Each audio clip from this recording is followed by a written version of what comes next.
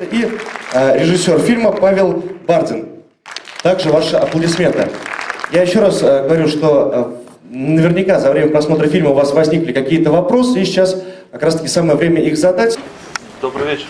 Меня зовут Денис, у меня вопрос к Павлу.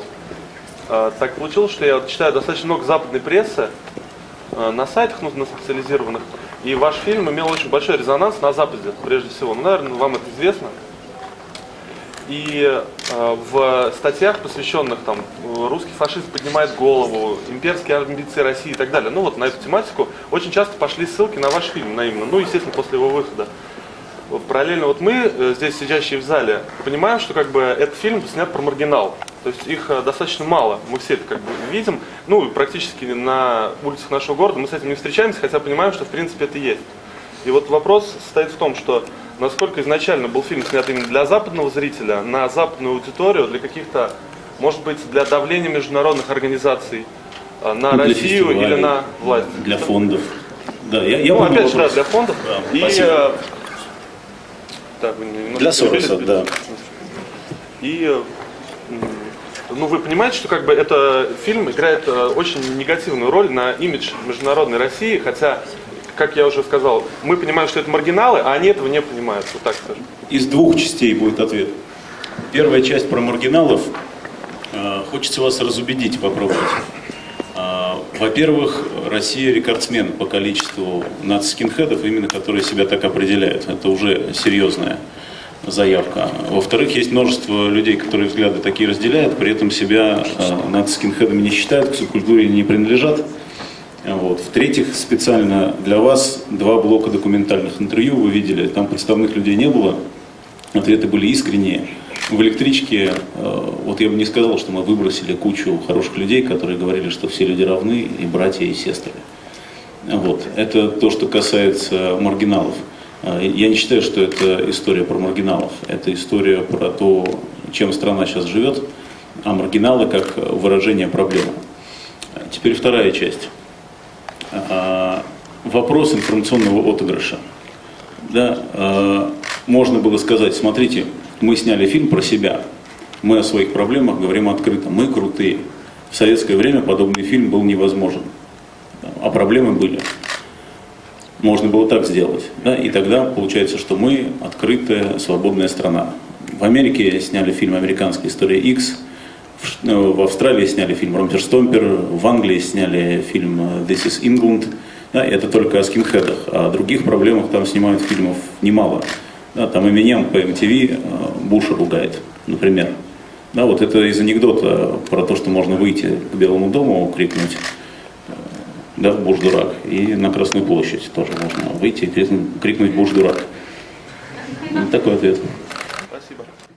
Да, спасибо за вопрос. Э, Вот, вот, наконец-то уже появ- появился лес рук. Ну, давайте все-таки девушке предоставим сначала возможность. Очередное обострение да, скандала вокруг вашего фильма было в декабре-январе, да, и связано с Самарской областью было. И недавний скандал с сериалом «Школа». Да. Вот, как вам кажется, это одного порядка явления? Или это все-таки разные? Вы знаете, сложно говорить. Лучше, конечно, обратиться к тем, кто затевал эти скандалы. А, Отчасти, может быть, да, потому что стоит нежелание говорить о проблемах, знать о них, смотреть о них кино, и э, желание сделать вид, что проблем нету путем цензурирования медиа. Да, вот мне кажется, вот это как раз может быть общая составляющая. А выражается в результате это даже в самом лучшем проявлении, в какой-то странной компанейщине.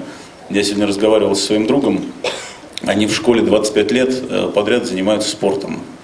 И их сегодня выгнали, потому что во все школы разосланы письма сторонним организациям помещения не предоставлять. А, И вот это результат, э, к сожалению, восприятия э, сериала «Школа».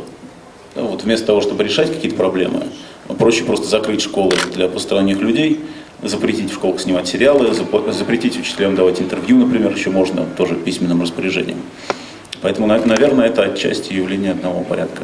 Я не с художественной точки зрения. Ну, вас сейчас разрешились эти проблемы? Я знаю, что Генпрокуратура должна была да, заняться фильмом. Ну, у нас была вчера премьера, позавчера мы вышли в прокат, вот продолжаются премьерные показы. Мне кажется, то, что мы здесь и вы здесь, это значит, что в этой истории поставлена точка. Спасибо за вопрос. Вы, наверное, хотели задать, да? Скажите, пожалуйста, вот понятно, что по сюжету как бы развенчиваются, да, вот те идеи, о которых снят фильм. Но не опасаетесь ли вы того, что если фильм выйдет в прокат, то вот составляющая та часть фильма, где демонстрируется, как, как они себя ведут и как они живут, что для очень большой части зрителей это может оказаться сильнее, и вот эта составляющая часть фильма перевесит.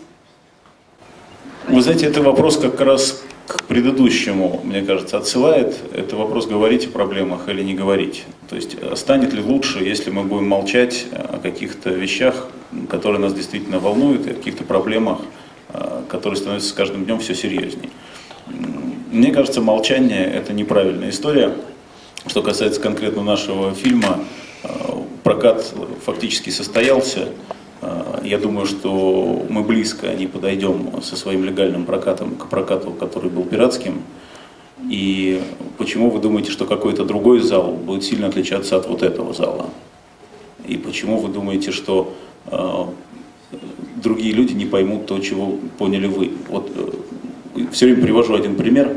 Э, в Москве тоже такие вопросы и такие мнения нам высказывали но при этом нам не рекомендовали в регионах показывать.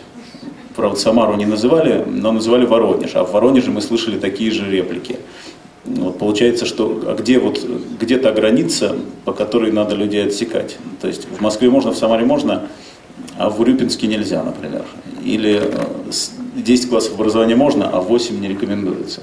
Мне кажется, это своего рода такой интеллектуальный фашизм, если э, есть эксперты признанные, которые говорят, что это кино нормальное, мне кажется, его надо показывать. Мне кажется, в нашем случае такими экспертами были представители профессионалов от киносообщества. А у вас нет статистики по скачиванию, сколько посмотрели? Я слышал разные цифры, но очень много, я бы так сказал. Я, я просто сам не умею считать, методик не знаю, не возьму цифры. Меня зовут Олег, у меня вопрос такой. А, режиссер при создании данной картины, он э, чем вообще, э, к чему он обращался? К интернет-роликам, каким-то, э, может быть, статьям? В данном фильме представлено вообще нацидвижение, это субкультура образца максимум 2000-2001 года. Их внешний вид, может быть, даже поведение. Не нужно отсылаться к данным десятилетней давности. На вас мало похоже, да. Вы знаете, нас... мне кажется, это заблуждение, поскольку мы с этими людьми пообщались после уже показов. А, ну, то есть был опыт общения и до, но после было он даже больше. А, не сильно все поменялось. Это в основном а, вот такие реплики звучат как раз от представителей движения. Они говорят, что мы на другом уровне, мы вообще супергерои, вы показали каких-то пьяных оболтусов. Такие смешные ребята приходили в Барнауле, такие комичные. Мы бы их не взяли. Вот у нас есть три, три вот, два парня и девочка, это вот назывались роли скины лохи. Когда над ними там смеются, там еще кусочек не вошел, шнурки у них белые отнимают. Вот тех парней, которые в Барнауле пришли, человек 25, по полной форме, с подкатами, в бомберах, мы бы даже на эти роли не взяли. А бомберы вот. где сейчас вообще продают в России? Бомберы? Но мы где-то купили все-таки. Вы знаете, вы зря... В охотничьем магазине, скорее всего. Нет. Знаете, маечки даже продают, там, я русский написано, или 14 слов Дэвида Лейна. Нет, не вьетнамцы. Татуированные такие ребята, которые говорят, вы что, ребят, тоже движение на другом уровне, что вы из нас клоунов делаете? А у парня закатаны рукава. Говорит, никто на палеве не ходит, вы что, опять вот это вранье. Да, а при этом у парня паутина на руке, руки все забиты рунами, никто на палеве не ходит. Вопрос можно? подожди. А вы зря причисляете то, что я как-то отношусь. Нет, нет, мы иронизировали, но на самом деле, мне кажется, вот то, что движение сильно вышло на другой уровень, есть художественный допуск, да, отчасти. А с другой стороны, они у нас переодеваются, вот мы просто сжали время. Есть художественный интерес. И то, что забавно, вот этот ваш Абрам, когда он скидывает Зигу, извините, левой рукой, это очень забавно. Он в зеркале отражается. Это зеркало. Это не зеркало. Да, ну мнения бывают разные, на то, в принципе, это и кинематограф. А, У меня вопрос э, к Петру Федорову будет, а то мы как-то все увлеклись, увлеклись э, разговором а, да, по поводу не- непосредственно сюжета. У меня вопрос а, по поводу персонажа. А, Насколько близко было, ну, э, не то, что насколько близко, насколько интересно, скорее, было играть именно такой персонаж. После э, череды ролей, э, насколько я видел, э, были и золотые мальчики, да, и сугубо положительные герои. А, Вот. Насколько, насколько интересно, насколько близок персонаж. Как раз после череды этих ролей вот было особенно интересно. Ну вот я представляю, это отдушина, наверное, все-таки была, да? Ну это отдушно не только после череды ролей, это в принципе отдушно, я думаю, которая останется отдушной еще на долгое время, вот скорее всего навсегда. Вот, и безусловно такой же творческий интерес, что это максимально, конечно, как мне как хотелось бы и как мне кажется, ну, далекий от меня человек. Вот, я бы хотел Это радует. смотреть на него в кино и как бы э, не более того. И, и показывать детям, наверное, как не надо Ну и делать. показывать детям пальцем как не надо, да. Да, давайте поаплодируем, потому что действительно... Давайте поаплодируем творческой группе. Что? Лучше играть мажора наркомана в клубе, чем патриота. Почему? Я вот не знаю. А, это вопрос был или нет? Это вопрос по логике вашего Это вопрос я просто не понял, это как интонация какая-то утвердительная. Это вопрос? вопрос. Это вопросительное утверждение. Так что это? Лучше играть наркомана мажора или этого самого? Да, лучше Я тебе скажу, что- мажора. Но если честно, я думаю, что лучше играть обоих сразу, потому что и то, и то, это в принципе обличительная история. Но это Вот. нонсенс, если вместе. Это исключение, чем Нет, имеется в виду и ту, и ту Нонсенс какой? Нонсенс, э, что, в чем нонсенс? Мальчик-мажор, патриот, это нонсенс. Почему он патриот? Я имею в виду, что и мальчик-мажор, и патриот это все вещи, которых мы, э, мы- вещи, которые мы хотим об- обличить, в принципе, и те социальные типажи, которые, над которыми, мне кажется, мы все можем посмеяться. Зря вы патриотом только его назвали. Да. Кстати, ваш герой в данном фильме, он не был антигероем в сумме. То, что, в принципе, он именно этот человек, который любил свою родину, любил свою страну. И в этом ничего плохого не было и зазорного. Просто-напросто в этом фильме его представили очень плохо и скверно. А кто Ре- тогда? Ребята обозначились, спасибо. Да. Вы знаете, он думал, что он любит свою страну, свою родину и свою сестру. А кому нужна его такая любовь? От его любви только разрушение и зло. Да, в чем, в чем э, его любовь проявлялась, где это добро? Да, любовь это добро, где добро? Не, ну вы не думайте, то, что просто-напросто можно показать хорошее, а можно не показать плохое. И наоборот, показать плохое, а не показать хорошее. Ну какое Вы хорошее? считаете то, что вот, допустим, ваш фильм, это значит просто-напросто как бы идиллия, то, что так должно быть, и ничего плохого другого не должно быть вообще. На самом деле, знаете, на, на- на самом деле много других вещей, которые намного лучше, чем, и, допустим, намного лучше показаны, чем вот, ну, не то, что движение. Не даже. понимаю реплики. Ну, то есть можно, можно убить таджикского дворника, но если после этого перевести бабушку через дорогу, это все оправдает. Или, или про что вы говорите? Не, в этом фильме никого не убивали, ни таджикского дворника там. Друзья, друзья мои, я понимаю, что всем хочется поговорить, но давайте как-то... А что касается актерской работы, я думаю, это большинству сидящих в зале понятно, что чем разнообразнее палитра у актера, чем больше перевоплощений, тем это интересней, и тем э, это, ну, об актере говорит как-то. Ну, тем он лучший актер. Лучше, да. А некоторые играют одного и того же персонажа всю жизнь. Мы- Да, мы я- знаем эти фамилии. Я предлагаю все-таки э, переменить немного э, человека, который будет задавать вопрос. Вот я поднялся у нас наверх. Здравствуйте, меня зовут Рафаэль, да. Я хотел вопрос задать вот первый к актеру, да, вот, например, ну, Петру. Как вот он относится вот к своей роли, как он сыграл. Но я как бы услышал ответ на этот вопрос. И хотел бы как бы у вас поинтересоваться и ваше мнение, когда человек снимает фильм, он, соответственно, должен разделять как бы точки зрения, да, вот он должен вот ну, соответствовать данному фильму. Вопрос такой, вы разделяете его, да, вот, то есть вот эти вот взгляды нацистские, вот скинхеды, вот эти вот. Ребят, не пугайте, мы уже не такие дураки, как Не, нет, я понимаю, я, я понимаю. антифашистское кино. Да, антифашистское. Что, непонятно? Нет, понятно, но там большая часть была фашистской. Ну, мне В кажется, самом конце, если титры шли, это не значит... братан, максимум это прививка, не более того, я тебе уверяю. Ну. А относительно того, что насколько актеры разделяют, э, ну, я думаю, что это больше пахнет Кащенко. Нет, Вот, Если в тот момент, когда да. начинаешь за- за- заниматься профессией, ты вдруг присваиваешь какие-то вещи, Конечно, против я- которых ты выступаешь, то ты первый человек, которого тебя должны запретить. Во- Во-первых, этой профессии, во-вторых, э, просто человечески. ваша Вот. Я надеюсь, что...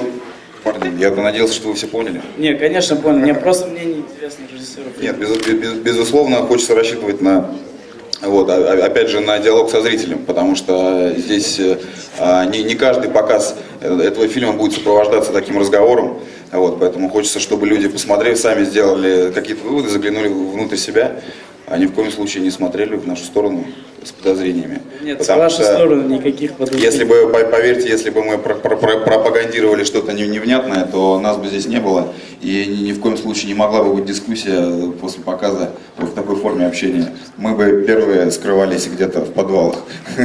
Уверяю вас. Добрый вечер. Меня зовут Армен. Я бы хотел поблагодарить вас, то, что вы как бы в этом фильме подчеркнули, что патриотизм страны, да, данного человека подчеркивается не тем, чтобы пачкать и ломать вещи и калечить людей в своей стране, а наоборот, как бы поднимать ценность, сущность и подчеркивать, подчеркивать как бы ценность своего народа, свою, свою сущность, а не как бы развращать все, понимаете? Вот я хочу поблагодарить то, что вы это подчеркнули, то, что это явно видно, то, что настоящий истинный патриот так к своей стране никогда не отнесется. Он просто от души. Пацаны, спасибо. Нам тоже кажется, что вы лучше подойдя, лучше подойдя к зеркалу, выдавить, выдавить пару прыщей, чем замазать их тональным кремом. Не очень подходящим к тону твоей кожи. Да, давайте еще несколько вопросов. Может, все-таки девушке вопрос зададим, а то у нас Марина сидит. А, нет? Добрый день. Вы знаете, я посмотрел ваш фильм, вот, и я не сумел э, в нем увидеть ничего такого фашистского, собственно. Э, Причем здесь фашизм, когда речь идет просто о молодежной банде и традиционные там какие-то вопросы, там борьбы за территорию, борьбы за самок и так далее, то, что еще там, начиная с первобытного общества, было всегда. Вот. Этот фильм мог бы был бы снят также там про Казань там 80-х годов, да, то же самое. Причем здесь фашизм, скажите, пожалуйста. Вы знаете, а вы абсолютно правы. Кино на самом деле не про фашизм, а про людей. Поэтому фашизм в данном случае для нас вторичен. Дискуссия просто про это все время идет. И прокуратура по этому поводу нас к себе приглашала в гости. А фильм-то о людях, о любви, о ненависти. А, Просто фашизм это такая злая надстройка. А, Из банды как-то и выскочить проще. А фашизм затягивает сильнее. Тоталитарное сознание очень мощная штука, очень мощный яд. И э, если нет альтернативы, то глубина падения будет больше, а убиться будет больнее. Добрый вечер. Я хочу сказать, что когда мы приходим в кино, в театр, мы понимаем, что мы попадаем в мир некоторых условностей. Но то, что мы увидели сейчас, это было не кино. Там не было ничего наигранного. Это был кусочек жизни, нашей с вами жизни. И я хочу сказать э, большое спасибо, потому что я волнуюсь, потому что чувствуется гражданственная позиция тех, кто снял этот фильм. Понимаете? Потому что этот фильм о людях, просто о людях, которые живут на земле, и для того, чтобы выжить, мы должны помогать друг другу. Скажите мне, пожалуйста, дорогие мои жители города Самары, вот я тоже коренная самарчанка. Кто может сказать о себе, что он русский? И что такое русский? Мы жили на пересечении торговых путей. А вы что, простите, сама Я сама по себе, я русская. А вы не мешаете мне говорить, когда вы говорили, я молчала. Ребят, Я хочу помолчите, сказать- да, действительно. Давайте хочу сказать, интеллигентно. что- Поднимите руку, потом скажете. Я вас не перебивала. Ребят, прилично Вы себя ведите, что пожалуйста. мы живем на таком шарике, который называется Земля. И есть такое понятие, как пищевые цепи. Вот какой-то вид исчезает, и он приводит э, невосполнимым потерям. Другой вид из-за этого страдает. А если исчезнет на Земле человек, ничего не изменится. После весны придет лето, после лета придет осень, будут течь реки. Мы с вами пришли в этот храм последними, а ведем себя как свиньи. Понимаете? Мы ведем себя как свиньи. Мы убиваем себе подобных, только потому, что у них другой разрез глаз. Вы знаете, что в Кабардино-Балкарии, когда я в свое время там ездила кататься на лыжах, у нас инструктор был рыжий, потому что это национальный, настоящий цвет людей, живущих на Кавказе. И этот фильм прекрасен. Можно найти очень много к чему придраться. Но поймите, когда э, паны дерутся, у холопов чубы трещат, и все мы с вами стали просто заложниками, заложниками существующего бардака в нашей стране. Они ведь о чем говорят? Они отняли у нас работу. Вот если бы не было социальной напряженности в стране, не было бы ничего подобного. Вы понимаете? А почему москвичи не хотят делать ту работу, которую делают приезжие? Убирают вот эти вот все помойки. И люди сюда идут не от хорошей жизни. И наши тоже едут в Европу, в Америку, в Канаду, в Германию, в Австралию. Тоже едут за хорошим куском хлеба. И если лучше изучать историю, историю своей страны, и историю вообще мировую, одну секунду, мировую историю, вот эти вот миграции, они всегда были, они всегда есть, и они всегда будут. А задача каждого из нас, мы пришли в этот мир на миг, понимаете, на миг. Так вот за этот миг надо остаться человеком, потому что человек не просто смертен, а он внезапно смертен. И в каждый момент надо быть готовым, потому что ты будешь внезапно смертен, и как ты прожил эту жизнь. Ребят, большое вам спасибо. Да, и вам большое спасибо. Очень хочется, на самом деле, чтобы высказывались люди разных возрастов, задавали вопросы. Вот, поэтому я сейчас обращаюсь к молодой девушке, которая, наверное, э, задаст какой-нибудь вопрос актерам, да, или нет? Что же будет делать? Сразу хотелось бы сказать предисловие, что я никакого отношения к фашистам не имею, э, что считаю дело не в национальности, а в том, какой человек. Но вопрос такой, что действительно сейчас в России огромное количество приезжих, и меня это напрягает действительно как коренного жителя России. Вот. Очень бы хотелось, чтобы как действительно сделать так, чтобы в России большинство все-таки жили русские. Спасибо вам большое за эту реплику. Это показатель как раз того, о чем мы говорили, когда говорили о маргиналах. Вот говорят, что это все история про маргиналов, а на самом деле проблемы нет. Мне кажется, как раз проблема в том, что человек может стать и сказать, я не фашист, но я хочу, чтобы в России все-таки русские люди жили. А вы не понимаете, что вы сейчас с этими ребятами заодно? Бороться надо не с приезжими, бороться надо с хамством, с бескультурием, с криминалом. Павел, а у вас же отношение к Советскому Союзу в данном контексте? А давайте я отвечу на вопрос, а потом вы зададите свой. А, а почему вам нравится с места реплики подавать? Давайте тогда, раз у них там нет какого-то четко выраженного... А, есть. Есть, есть, есть, да, давайте.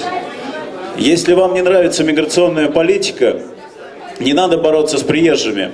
Попробуйте побороться на выборах за ту партию, которая предложит вам внятную миграционную политику, которая вам нравится. Будьте сознательным гражданином. А если такой партии нет, создайте ее. Можно? Вопрос такой. Вот у вас замечательный, замечательный момент есть в фильме, когда переворачивают портрет Гитлера и на обороте Путин. Вот скажите, пожалуйста, вообще в какой степени фашизм сейчас является составной частью государственной идеологии?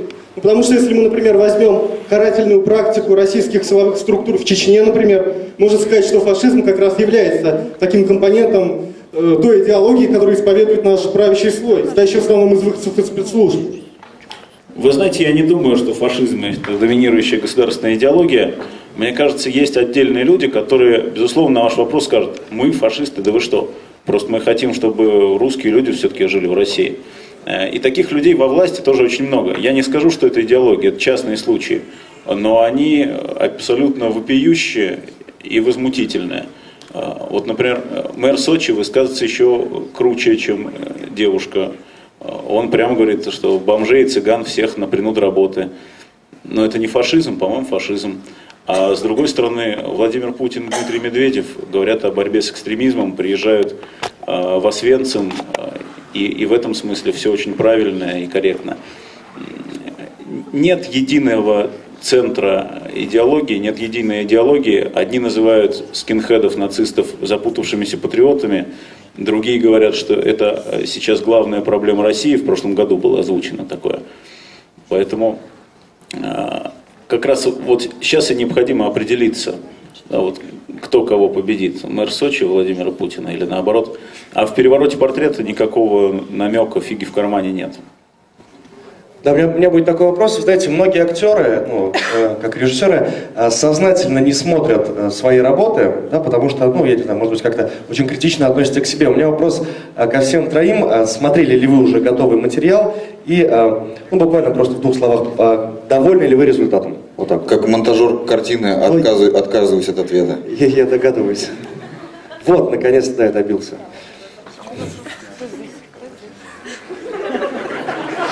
Довольны ли вы результатом, Марина? Материал смотреть не боюсь отснятый. Картина удалась, и роль тоже. Все хорошо. Что ж, да, действительно, по-моему, тоже действительно картина удалась. Вы знаете, э, мы, мы с Петром не смотрим, потому что, когда мы начинаем смотреть, ощущение, что э, вернулся период постпродакшена. Как будто мы снова над ней работаем, хочется уже над следующей закончить работу. Поэтому для нас это как повторение уже сделанной работы. Мы не можем от- от- абстрагироваться и просто кино посмотреть. Я думаю, что у, у многих так же. Ну да, э, действительно. Ну что же, большое вам, большое вам спасибо за ваши ответы, за э, вашу честность. Э, Друзья, сейчас, ну, давайте уже, наверное, все-таки закончим с вопросами, потому что, э, по большому счету, они все уже... Может, какое-нибудь позитивное заявление есть на финал? Да, пожелание, Все раздухарились, а мне кажется, вот выхода не нашло.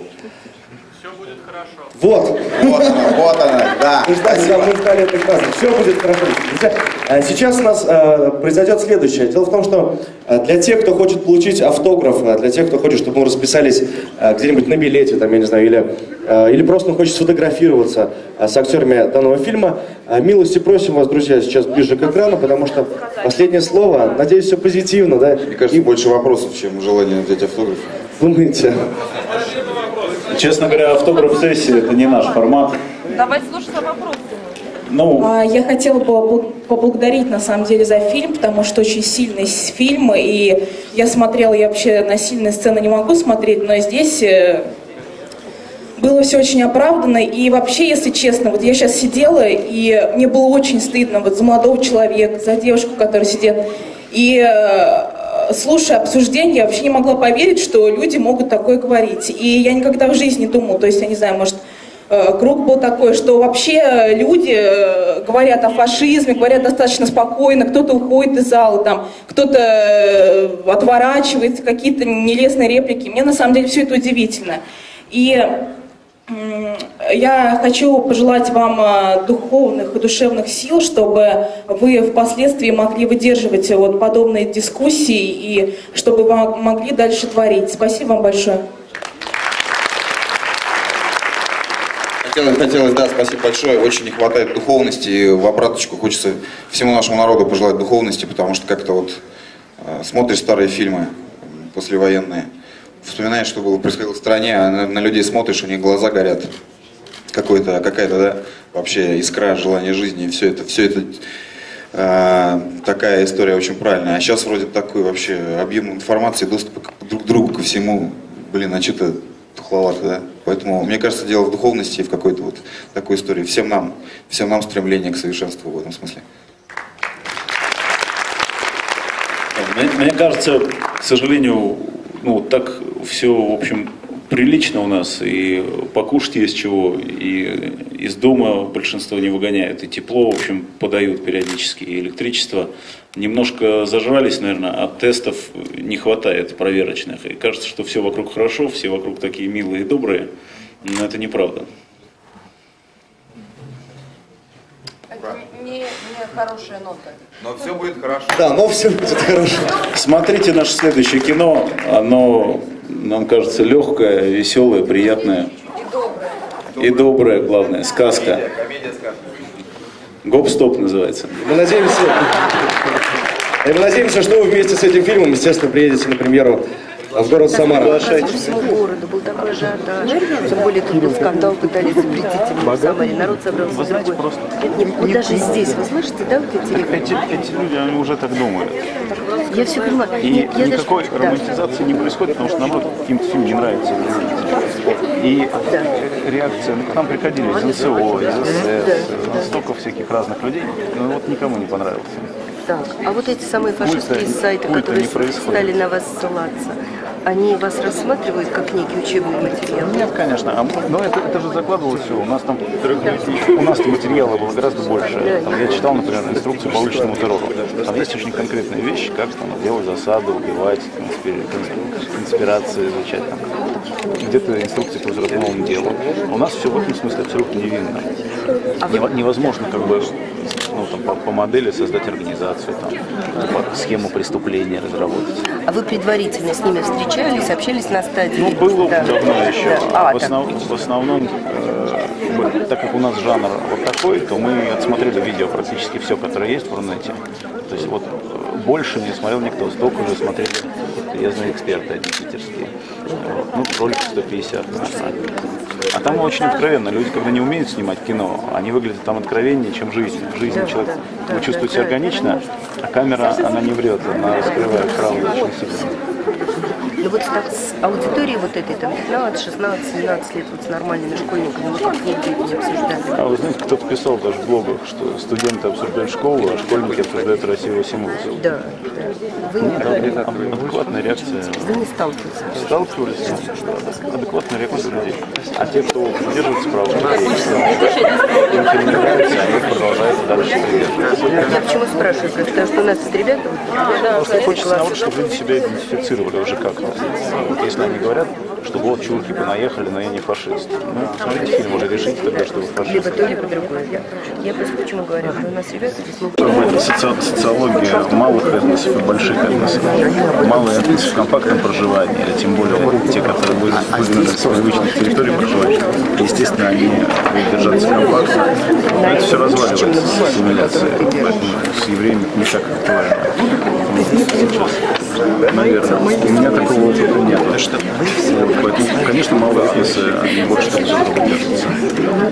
Вот, но все равно как бы, открытое общество с рыночными отношениями выбирает конкуренцию по другому принципу.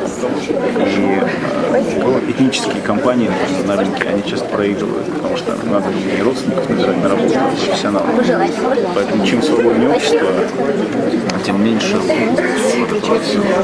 Ну, потому что экономику закрыли, СМИ закрыли, конечно, теперь каждый своего тянет. Ну, по всяким признакам. Гомосексуалист своего партнера. Этнос какой-то своего этнического. Кто-то, кто с кем Это не проблема этноса. Не проблема там армян или евреев. Десантник позовет десантника. А алкоголик алкоголика.